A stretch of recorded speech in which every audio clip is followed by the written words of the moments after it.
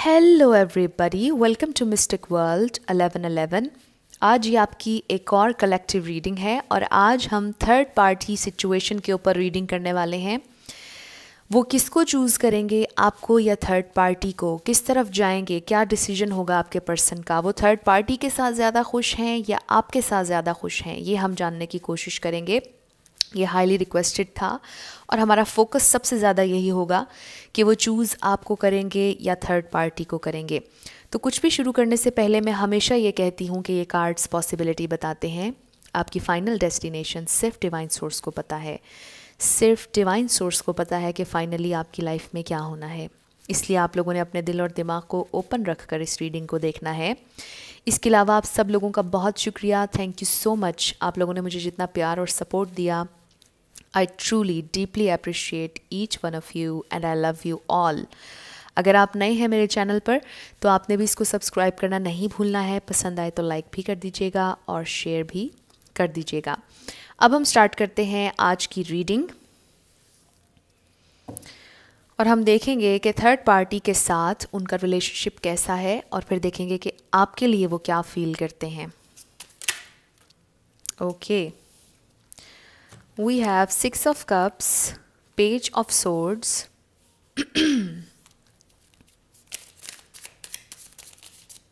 ये तो बहुत सारे आ गए। यहाँ पर एयर एनर्जी है और water energy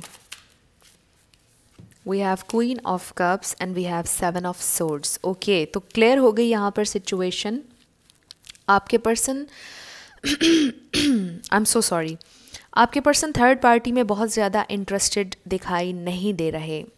अगर आपको लगता है सरफेस पे कि वो बहुत ज़्यादा थर्ड पार्टी के साथ खुश हैं या बहुत ज़्यादा उनके साथ हैप्पी रिलेशनशिप चल रहा है तो ऐसा नहीं है। मुझे लगता है कि वो पास्ट को मिस कर रहे हैं, वो पास्ट के बारे में सोच रहे हैं। एंड ऑब्वियसली उनके पास्ट में किसकी यादें हैं? आपकी यादें हैं। वो पास्ट के बारे में सोच रहे हैं, वो खुश नहीं हैं। और डिसेप्टिव हैं towards third party I am so sorry मेरी आवाज़ के लिए।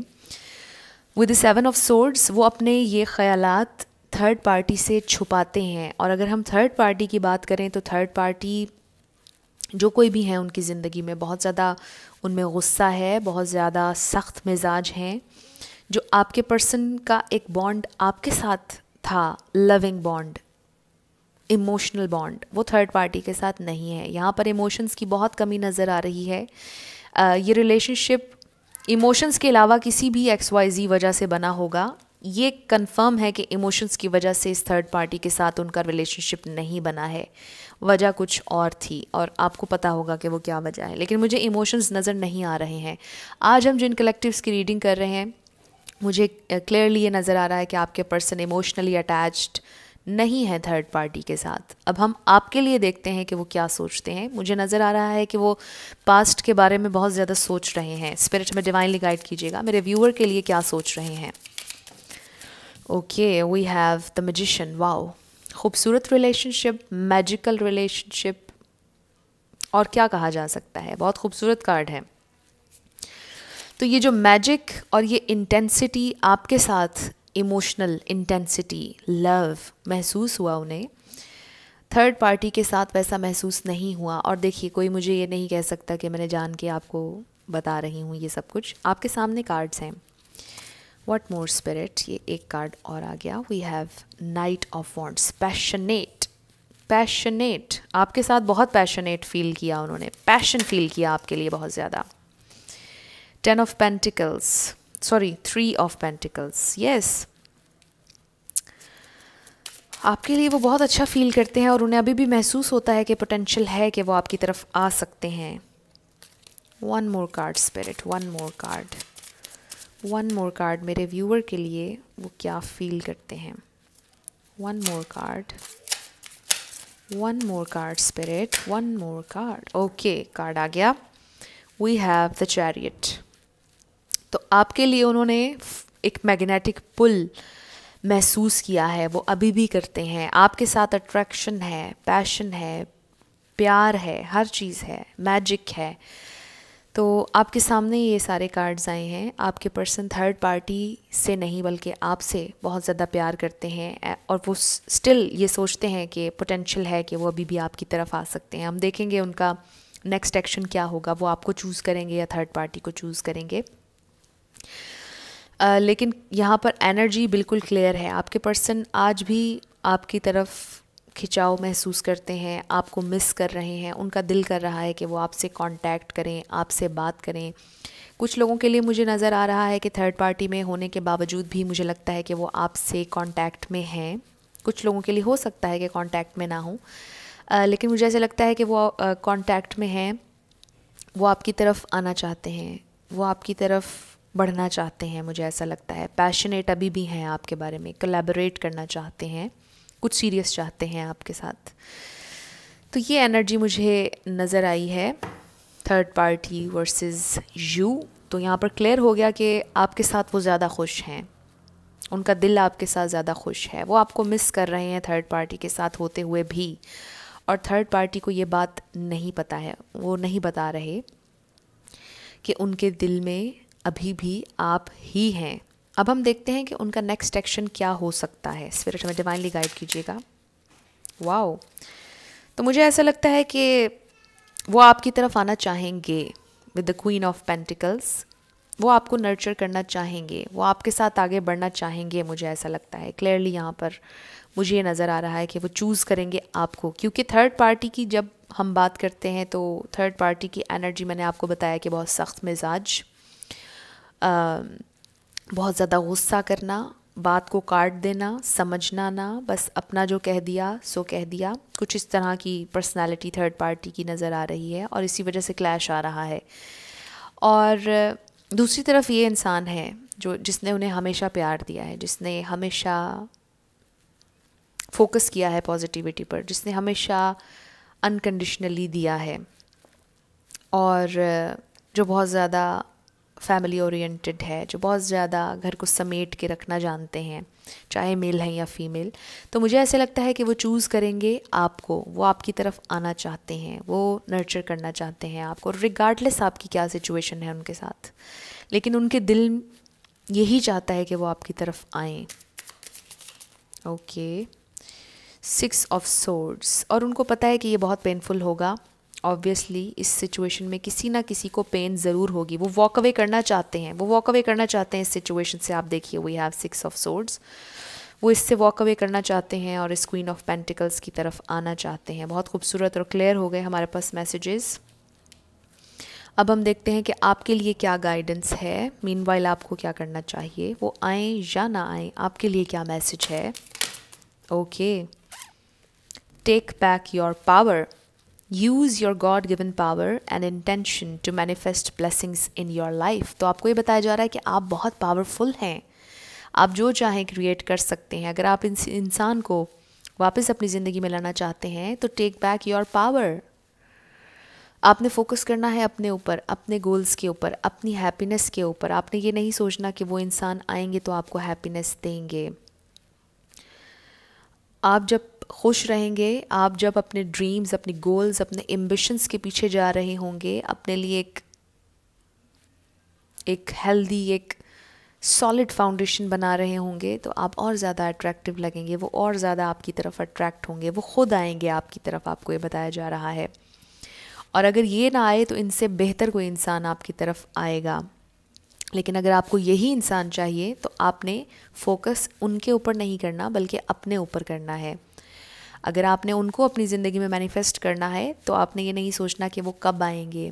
आपने ये नहीं सोचना कि वो क्या कर रहे होंगे। आपने ये नहीं सोचना कि वो कब आएँगे, क्या कर रहे होंगे, क्यों नहीं आ रहे, कॉल कब आएगी टेक्स्ट कब आएगा, मिलेंगे कब, क्या, कैसे, ये सवाल आपने नहीं करने। आपने ये पूछना है कि मुझे खुशी कैसे मिलेगी। आप ये सोचें कि जब वो आएँगे तो आपको कितनी खुशी होगी। आपने इस बात पे फोकस करना है। जब वो आपके साथ होंगे तो कितनी खुशी होगी। थर्ड पार्टी ख़त्म हो जाएगी तो आपको कितना अच्छा फील होगा। आपने उस फीलिंग पर फोकस करना है। आपने ये फोकस नहीं करना कि कब, क्यों, कैसे। आपने उस फीलिंग पर फोकस करना है जब वो आपके साथ होंगे। तो इस तरह आप उन्हें मैनिफेस्ट अपनी ज़िंदगी में कर सकते हैं। इमेजिन करें कि उन्होंने थर्ड पार्टी को छोड़ दिया है। इमेजिन करें कि उनकी ज़िंदगी में कोई थर्ड पार्टी नहीं। इमेजिन करें कि थर्ड पार्टी आप दोनों के दरमियान से निकल गई है और आप दोनों करीब आ रहे हैं। जब आप ये चीज़ें इमेजिन करेंगे तो ये इंसान आपकी ज़िंदगी में मैनिफेस्ट होंगे और आप इतने पावरफुल हैं। आप ब्लेसिंग्स को इन्जॉय कर सकते हैं। आप ऑलरेडी ब्लेस्ड हैं। आपको पता ही नहीं कि आपके पास कितनी पावर है। ये मैसेज आप लोगों के लिए आया है। आपके एंजल्स की तरफ़ से स्पिरिट की तरफ़ से बहुत खूबसूरत मैसेज है। One more message one more message okay आ गया हमारे पास message you know what to do trust your inner knowledge and act upon it without delay तो आपको, अगर आपकी इनर सेल्फ आपकी इंटुविशन आपकी गट फीलिंग अगर कोई एक्शन लेने को कह रही है तो आपने वो एक्शन ज़रूर लेना है। कोई भी इंस्पायर्ड एक्शन हो सकता है कि वो इंस्पायर्ड एक्शन आपको बहुत ऊंचाई पर ले जाए, आपको बहुत कामयाब कर दे। तो आपको ये बताया जा रहा है कि आप बहुत अच्छी तरह से जानते हैं कि आपको क्या करना चाहिए है। हो सकता है आपको साइंस मिल रहे हो हो सकता है वो साइंस किसी किसी चीज़ की तरफ़ इशारा कर रहे हों, किसी काम की तरफ़ इशारा कर रहे हों जो आपको करना चाहिए। और आप जानते हैं कि वो क्या चीज़ है जो आप नहीं कर रहे, लेकिन इशारा आपको मिल रहा है डिवाइन की तरफ़ से कि आप वो करें तो आपको अच्छा फील भी होगा, आप कामयाब भी होंगे। तो ये बहुत दो खूबसूरत मैसेजेस थे जो आप लोगों के लिए आए हैं।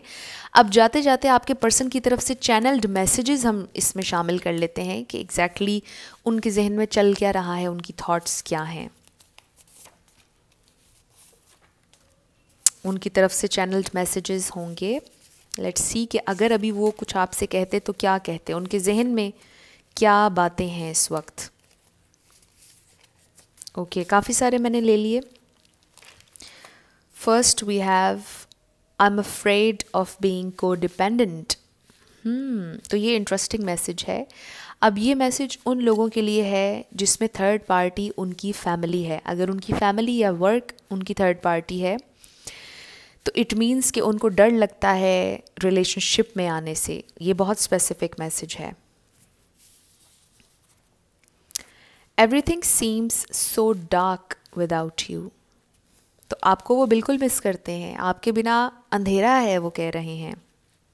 आपके बिना लाइट नहीं है। आप हैं उनकी ज़िंदगी की light I either live a very lonely life और I won't live at all तो उन्हें ऐसा लगता है कि वो ज़िंदगी भर अकेले रहेंगे।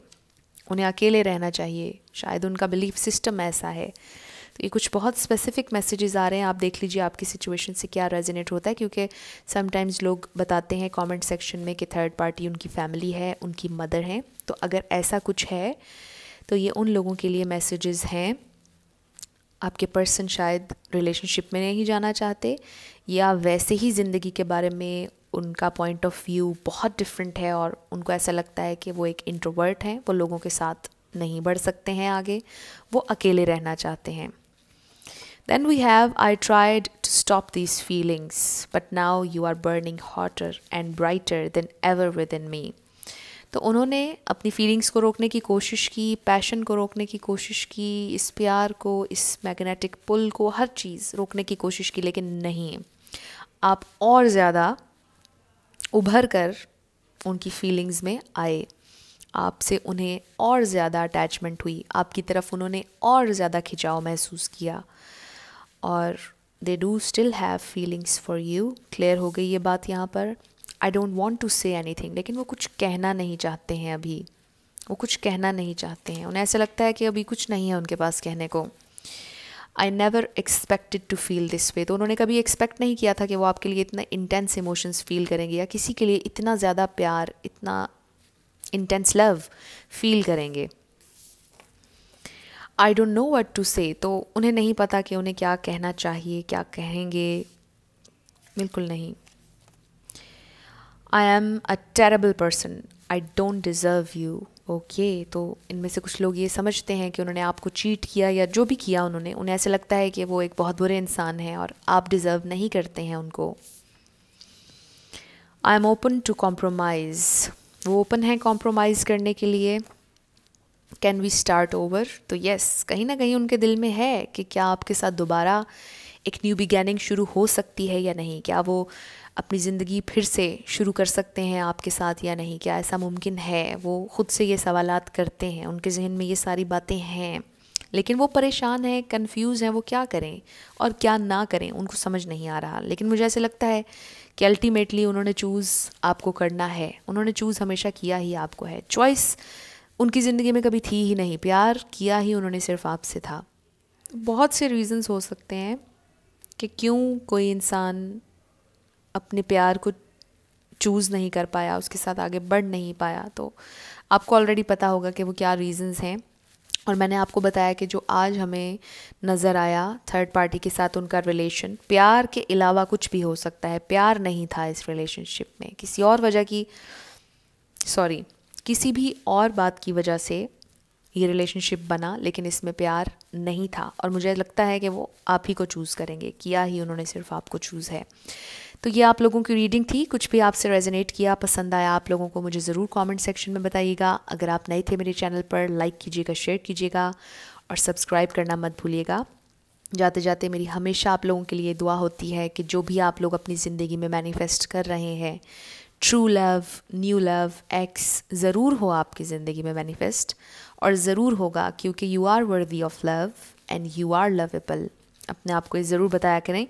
I'll see you in my next video. Till then, love you lots. Bye bye.